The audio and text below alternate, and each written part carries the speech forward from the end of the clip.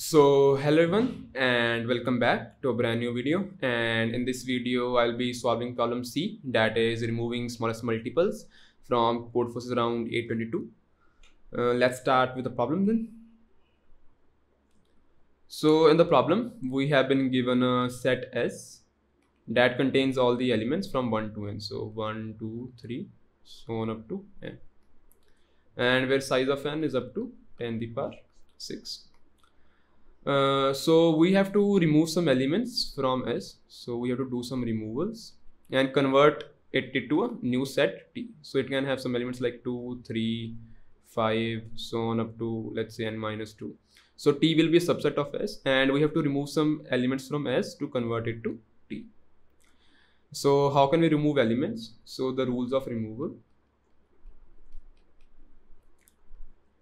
So to remove some element uh, from set S, you can choose any element i from 1 to n and remove the smallest multiple and remove the smallest multiple of i that is present in S.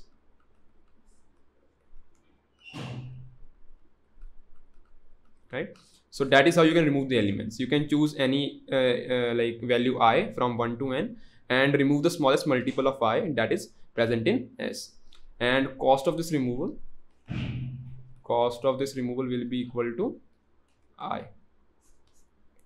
So we want to convert s to t using these removals and we want to minimize the cost also. So we want to find the minimum cost that is required to convert s to t right? So that is the problem. So how can we do this? Uh, the idea for this is pretty simple uh, so let's move on to the observations. Observation. Uh, so we will start from the left side. We will start from that is element 1. And whenever we remove an element, whenever we remove an element, we will try to remove as, as much of its multiple as possible. So we will try to remove as many of its multiples as possible. As many of its multiples as possible, right? So that is the observation. So you will start from the minimum element and whenever you remove an element, you will try to remove as many of as many as of its multiples as possible. But I mean by that is I can give you an example for that uh, for example if we are let's say we want to remove three elements. We want to remove i we want to remove 2i and we want to remove 3i right?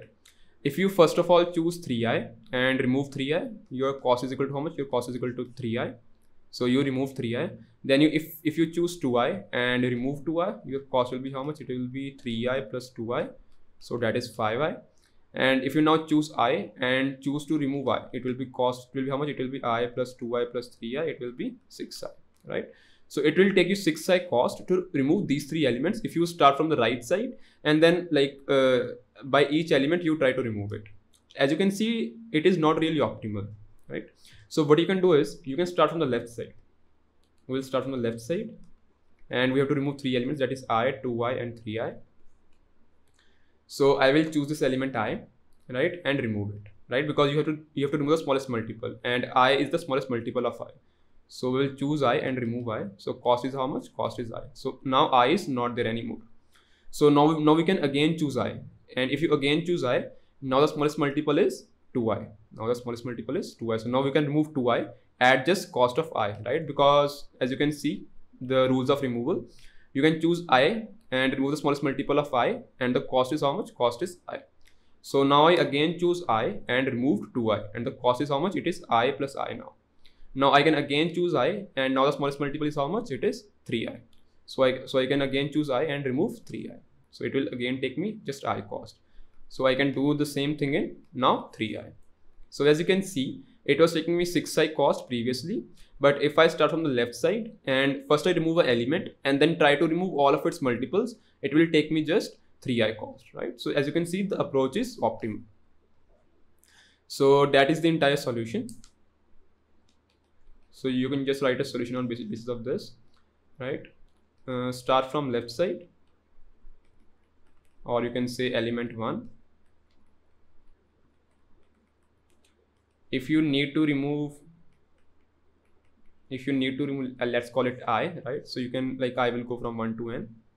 If you need to remove i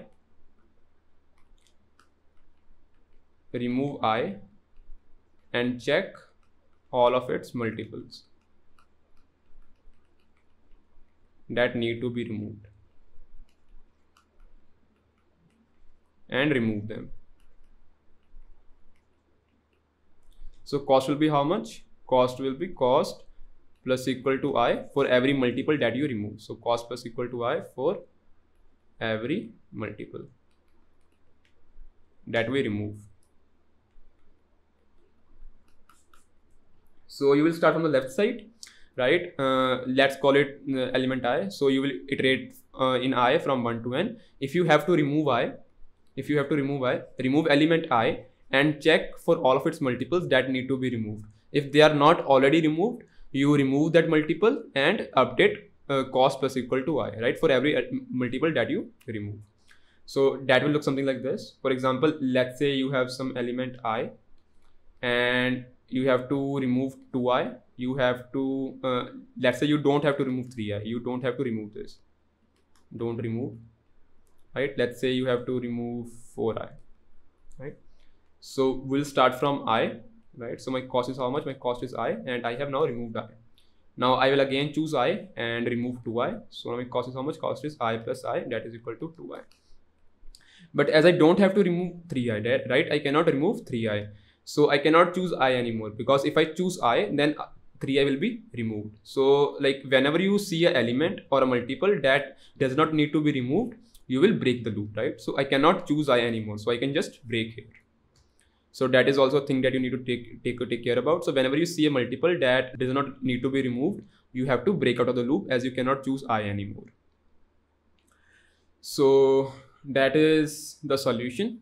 And if you guys want to see the code for this here is the code. Uh, here's my string s right? Uh, this is my string marked and that will tell me how many elements I have removed already so I will start from i equal to 0 and i is less than 1 if s of i is equal to 0 that is if I have to remove i it means if I have to remove i.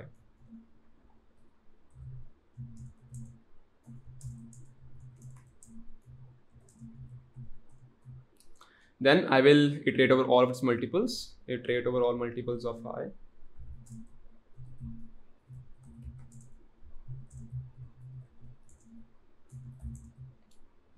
and if s of j minus 1 is equal to 1 that is if I don't have to remove this multiple if I don't have to remove this multiple. I cannot iterate further right? I cannot iterate further so I have to break here.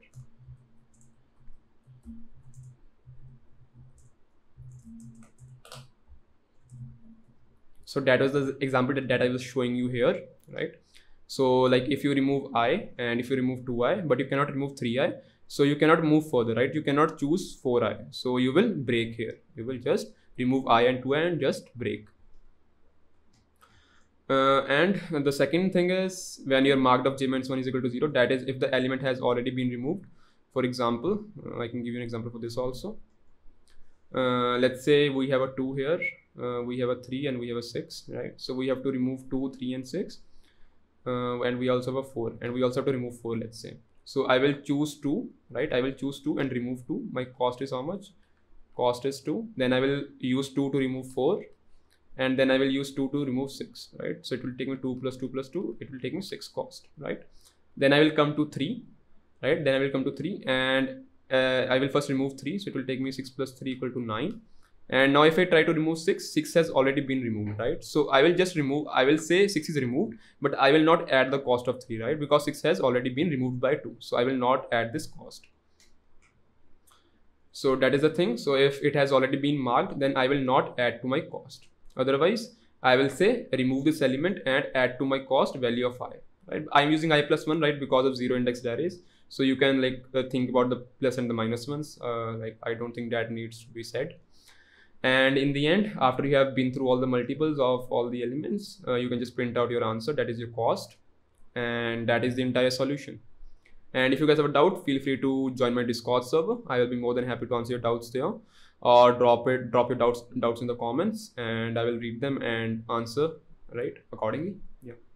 So that is it for this video and i will see you guys in the next one and maybe i will make more videos on the following contest yeah so stay tuned for that as well and see you guys in the next one. Bye bye also if you guys don't know continue newton school is offering a full stack development course. The course is uh, over six months long and it is totally based on pay after placement model and you don't have to pay anything.